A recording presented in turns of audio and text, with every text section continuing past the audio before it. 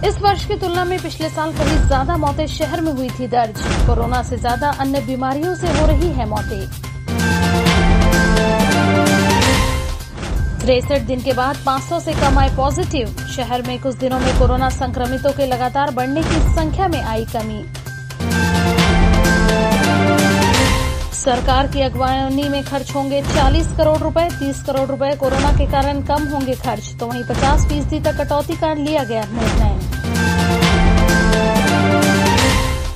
सरकार के सहयोगी दलों में तोड़जोड़ की राजनीति शुरू तो वहीं पूर्व पार्षद दीपक आपसे नाना जोड़े सहित कई नेताओं ने कांग्रेस छोड़ी।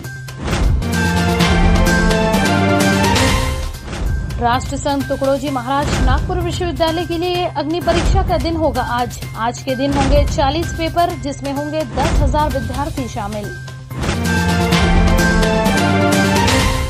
शहर में चार अलग अलग स्थानों पर हुई घटनाएँ, चोरी की कई वारदातें तो वहीं लाखों का माल उड़ाया।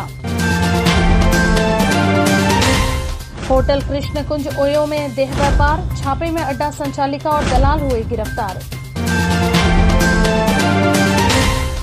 खाद्य आपूर्ति विभाग के गोदाम से जुड़े अधिकारी कर्मचारियों से हो सकती है पूछताछ। पुलिस ने मांगा आरोपियों के मोबाइल सीडीआर का डाटा। राशन मिल के चावल का मामला। क्राइम ब्रांच पुलिस ने एक शातिर वाहन चोर को धर दबोचा जिसके पास से चार दुपहिया वाहन किए जब्त। आरोपी पर दर्ज है 22 आपराधिक मामले। प्रधानमंत्री आवास योजना क्रियान्वयन पर खड़े हो रहे हैं सवाल धीमी पड़ी गति। 4,345 घरकुल है तैयार लेकिन आवंटन सिर्फ़ छियासी को।